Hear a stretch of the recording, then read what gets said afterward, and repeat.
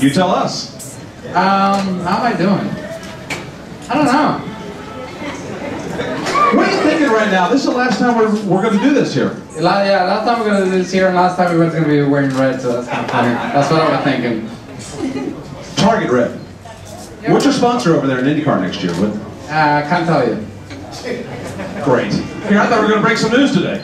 Yeah, exactly. You will love it. You've uh, you've done a lot in this sport. You've brought a lot of fans to this sport that are standing right here. What are your thoughts? Everybody giving themselves a shout out this morning. I like that. What are your thoughts? You're leaving. I mean, you you you brought a lot to NASCAR. You've done a lot in this sport, and now today's your final race, and you're turning the page to another chapter. I mean, what is this bittersweet for you? Um, it's a little bit of bittersweet because, you know, we didn't run better. I mean, I knew coming to run with Ganassi here was going to be a challenge, and, you know, the plan was to get the team a lot better. And we, at the uh, start we did, you know, we made the chase, fought for the championship and everything, and then, you know, changes kept happening and everything, so it just made it tough. And to be honest with you, when you get the chance to run for Roger, especially in IndyCars, you don't say no to that. Well, I was going to ask you about that. That's um, that. It's hard to turn something like that down, isn't it? When Roger Penske comes calling. Yeah, when you know when you talk to Roger and says, "I would love to have you in my team," it's like, what do I sign? you know? When did this thing change? When did when did you know that I'm done here? It's time to go somewhere else. Well, if I had an opportunity, I spent you know I put a lot of time and effort into NASCAR, and if I had an opportunity to be in a winning car, Oh, I would have stayed. But to run the way we run, you know that some weeks you can run good, but some weeks you can suck. I'm done sucking. Well, it wasn't like you were asked. It was like you'll be in Daytona. Here's when you need to be here. No, honestly, they they never said, "Oh, do you want to run Daytona?" I'll show you. So they, an email comes about this time of the year and says, "We'll be running two cars, and we need you there on the fourth of January." I'm like, we got enough going on, you know. Now it's great. Like my next race, March. March.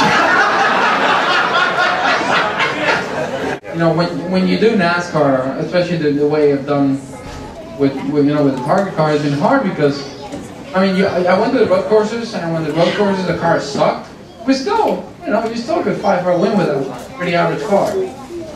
But in the ovals, you need, you know, a decent car, and uh, it's like you go every weekend and you never think, oh, I'm gonna win this weekend. You know, if we do it right, we're gonna win it. You don't, you lose that feeling here, I mean, you should talk to Marco about it. Marco feels the same way I do, and it sucks. we won at everything we've done and to come here and, and you know, yeah, you can get top five, get a couple wins, but that's it. I thought you would have been a Cup champion by now. Me too. I really did. Way back in that day when you were introduced to us in Kansas, or I'm sorry, Chicagoland, Oh, yeah. thought that within by now you have at least And you look at the one of those babies right there. yeah, and if you think about it, the way we started running, it looked like if we could get a kid team together, we would. I mean, you know, we, I said three years it'll take to make the chase, we made the chase. I mean, we came into Hunter 13 points. It's like, what else you need, you know? We were there, and then, uh, you know, you start changing crew chiefs and changing engineers and changing and changing and changing and changing. What was that thing? what do you think about racing the road course race there at the beginning of the month of May and then the 500 at the end? What do you think about that road course race they're doing? We're gonna spend a lot of time in Indy. But to tell you there's more to do in Indy than in Daytona, so I'm happy about that.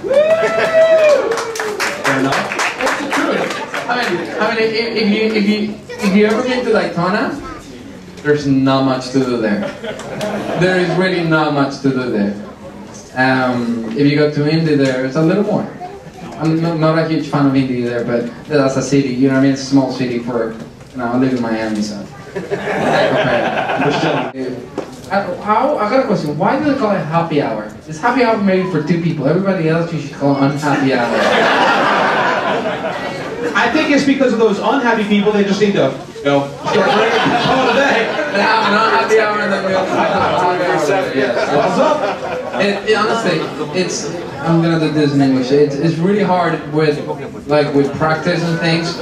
We did probably in happy hour about six changes, and everything you change.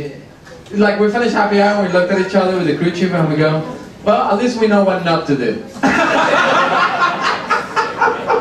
over the two practices, we did not find one thing that made the car better. That really sucks.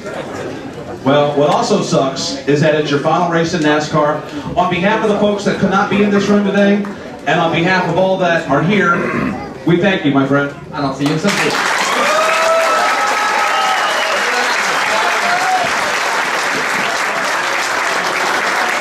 Thank you so much,